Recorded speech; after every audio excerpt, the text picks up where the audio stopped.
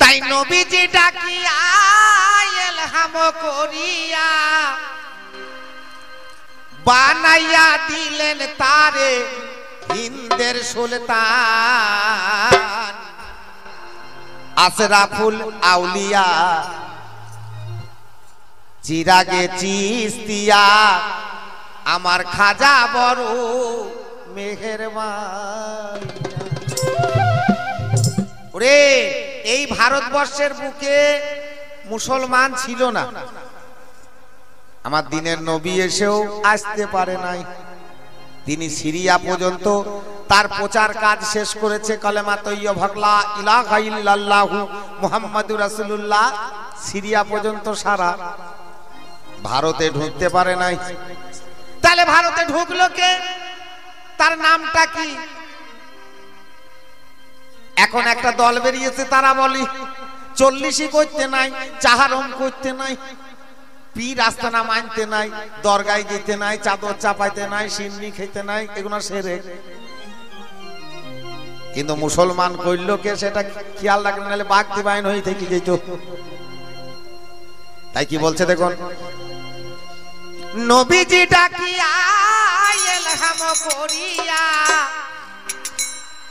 বানাইয়া দিলেন তারে হিন্দের সুলতান। আসর আফুল আউলিয়া খাজা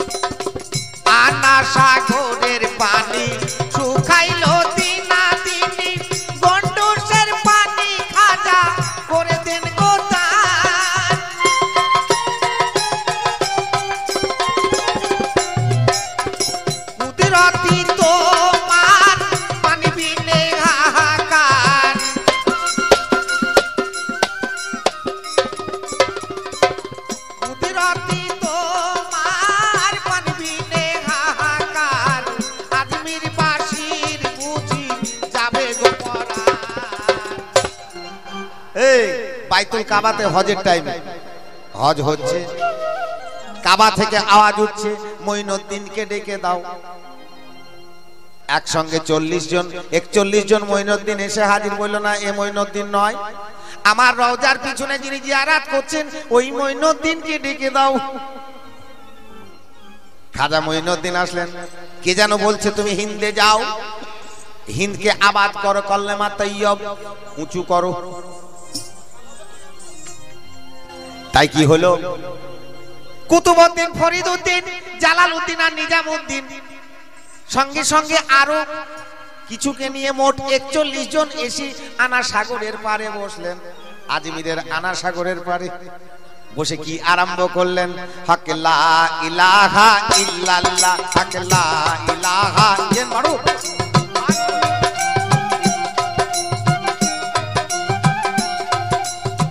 ইল্লাল্লাহু ইল্লাল্লাহ। হক ইলাহা ইল্লাল্লাহ। চারিদিকে খবর ছড়িয়ে গেল। একদল মুসলমান মাথায় টুপি লম্বা লম্বা দাড়ি। আনা সাগরের পাড়ে বসে বসে কি বলছে? পিতৃরাজ চৌহান সে জাদুর সম্রাট জাদুর সাম্রাজ্য চালাতো। তার জাদুর সম্রাট ছিল যোগী জয়পাল।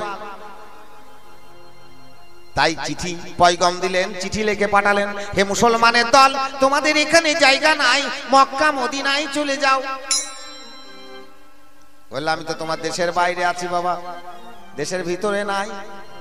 বলে থাকবা থাকা, এই আনা সাগরের পানি লিয়া হবে না। বলল, আমার একটা চামড়ার মশক আছে, এক মশক পানি নেব ফুরিয়ে গেলে চলে যাব। পিতিরাজ চিন্তা করল, এক মশক পানিতে মুসলমানের আর কদিন চলবে একচল্লিশটা লোক, একবার দুবার খেলেই তো ফুরিয়ে যাবে। লাও লাগিয়ে দাও। চামড়ার মশককে রেখে দিয়ে বলল, আল্লাহর হুকুমে যত আনা সাগরের পানি আছো, সব এসে আমার মশকে ঢুকে যাও। আনা সাগর শুকিয়ে গেল, পানির হাহাকার উঠে গেল আজমিরে। আনা সাগরের পানি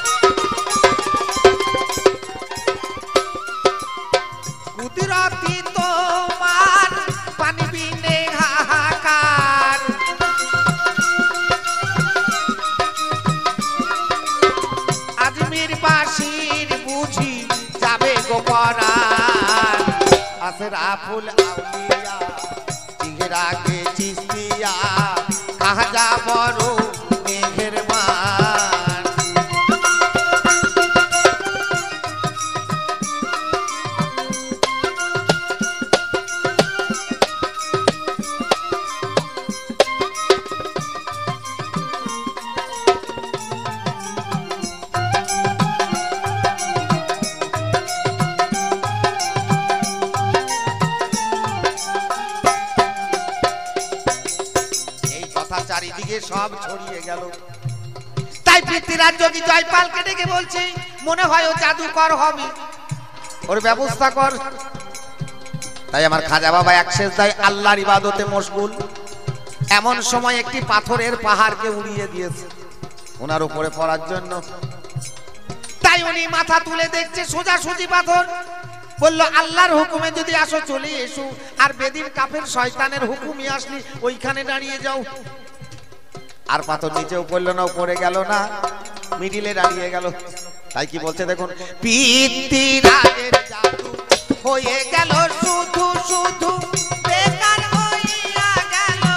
কত জাদু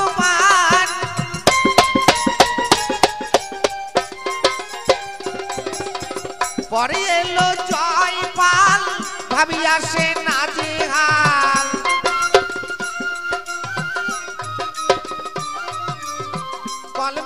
পড়ে গো শেষে হলো মুসলমান।